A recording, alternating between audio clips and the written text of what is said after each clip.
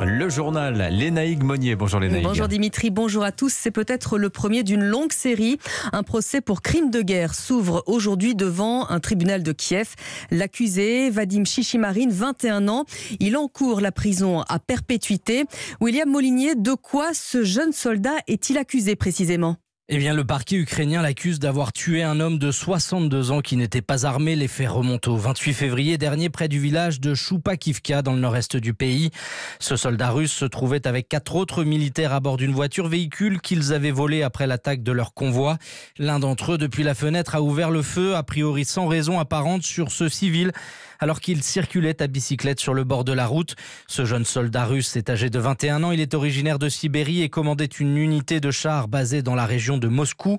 La télévision ukrainienne a diffusé son visage vendredi dernier lors de son audience de fixation au tribunal. Il est arrivé menotté, crâne rasé, habillé d'un survêtement gris. Le suspect a dit aux enquêteurs être venu combattre en Ukraine pour soutenir financièrement sa mère. Il a reconnu être l'auteur du tir tout en affirmant avoir reçu l'ordre d'ouvrir le feu. Selon la justice, le soldat s'est repenti et a collaboré avec la police ukrainienne qui n'a donné aucune indication sur les circonstances de son arrestation. William Molinier du service police-justice d'Europe 1. Et ce n'est peut-être qu'un début, on le disait, en tout cas la Cour pénale internationale veut faire toute la lumière. Elle a déployé 42 enquêteurs et experts en Ukraine. C'est la mission la plus importante en termes d'effectifs jamais envoyés sur le terrain. D'après la procureure générale d'Ukraine, plus de 8000 cas de crimes de guerre présumés auraient déjà eu lieu depuis le début de l'invasion russe, il y a trois mois. Dans une heure, la Finlande et la la Suède déposeront officiellement leur candidature pour rejoindre l'OTAN. Les deux pays marchent main dans la main, tracent le même chemin avec cette demande d'adhésion. Ce sont deux pays très liés, que ce soit par leur passé, par leur culture ou encore leur politique de défense. Reportage de notre envoyée spéciale Caroline Baudry à l'école suédophone de l'Université d'Helsinki. Dans la bibliothèque de la prestigieuse université finlandaise, Daniela, 24 ans, révise. Son livre est en suédois, sa langue maternelle. Donat Blonde encadre son visage, soulagé que les deux pays fassent un choix commun. Le finnois et le suédois sont les deux langues officielles en Finlande. Alors on se sent connecté au suédois. Moi-même, j'ai beaucoup de famille là-bas. Et ma sœur étudie en Suède. À l'étage, son professeur est fier de porter un prénom suédois. Et ça veut dire petit bois de boulot. Il a suivi l'actualité sur Internet dans son bureau. Comme il faut une candidature, il est beaucoup mieux de le faire ensemble. Nous pouvons nous entraider. Il suffit de regarder une, une carte pour comprendre qu'il est bien beaucoup plus pratique si on fait partie de la même alliance. Il y a autre chose aussi, ça peut relancer peut-être un sens de, de communauté et une coopération sur autre chose aussi. Des journaux traînent sur les tables de l'école. À la une du courrier d'Helsinki, cette image, la Finlande et la Suède dans la même barque quittent les l'étoile rouge, symbole de l'ex-URSS, pour rejoindre celle du logo de l'OTAN. Helsinki, Caroline Baudry, Europe 1. Retour en France où Elisabeth Borne continue de plancher sur la formation de son gouvernement. Avec une double difficulté, trouver des profils forts politiquement mais qui ne sont pas candidats aux législatives et réussir en même temps à plaire à l'aile gauche sans froisser les ministres qui viennent de la droite. Jacques Serret, de ce point de vue-là, ça démarre mal. Oui, plusieurs figures classées à droite qui soutiennent Emmanuel Macron craignent un revirement, car jusqu'au bout, ils ont cru en la nomination de l'ex-LR Catherine Vautrin à Matignon et le changement d'avis au dernier moment d'Emmanuel Macron en faveur d'Elisabeth Borne les laisse songeurs. Principale inquiétude, le profil de la nouvelle première ministre, c'est une très bonne techno, mais elle n'a pas une structure de pensée régalienne, s'interroge perplexe un conseiller au placé.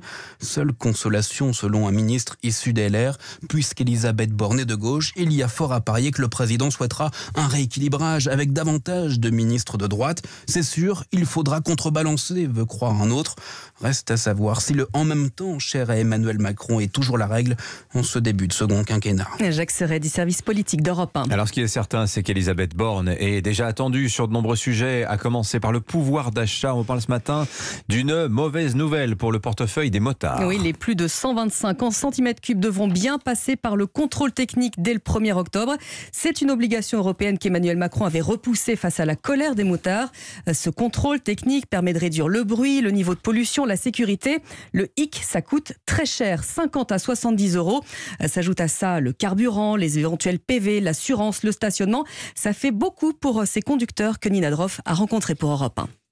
Accoudés à leur scooter, casque sur le crâne, Lucie et Julien ont tous les deux entendu parler de cette obligation du contrôle technique.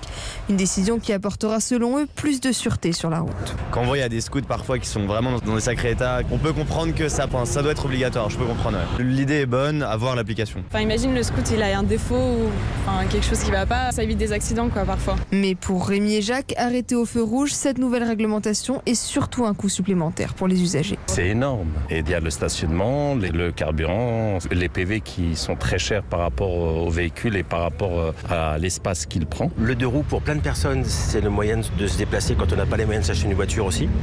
Et quand on a un petit 50 cm3 et qu'on doit payer en plus, ça va devenir très très compliqué pour certains. Ça, ça retire beaucoup d'intérêt à avoir un deux roues. Des dépenses qui s'accumulent et qui pourraient même pousser Jacques à se séparer de sa moto. Le reportage de Nina Droff pour Europe 1. La vague de chaleur qui s'abat sur la France, peut-être vous donne-t-elle envie de baignade? Alors prudence quand même, les plages ne sont pas toutes surveillées à cette époque de l'année. Hein. Hier, une femme de 61 ans, un homme de 69 ans se sont noyés à quelques heures d'intervalle sur une plage de Lèche-Cap-Ferré. Un autre homme est quant à lui porté disparu après s'être baigné hier après-midi sur la plage du Porche. C'est également en Gironde. Allez, on termine avec le festival de Cannes. La Croisette en a pris plein les yeux hier soir. Oui, avec une soirée riche en émotions que Marie Jiquel a suivi pour vous et pour Europe 1.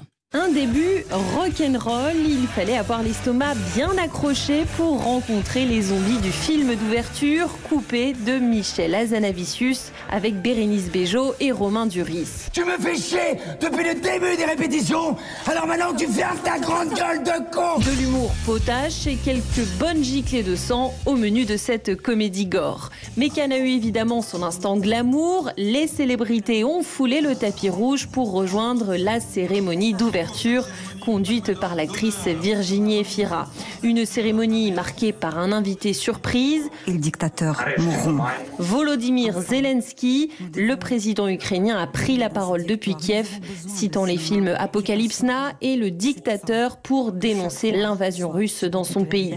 Cérémonie rythmée aussi par la palme d'or d'honneur décernée à l'acteur américain Forrest Whitaker et par le discours sous forme de leçon d'humilité du président du jury Vincent Lindon. J'ai que des premières fois, c'est la première fois qu'on se lève pour moi. Toute cette famille du cinéma se retrouve dans un peu moins de 10 jours pour l'annonce du palmarès. Et puis on attend un petit coup de chaud ce soir sur le tapis rouge du Palais des Festivals avec Tom Cruise sur les marches pour la présentation de Top Gun Maverick dont Europe 1 est partenaire. Il n'est pas venu à Cannes depuis 30 ans.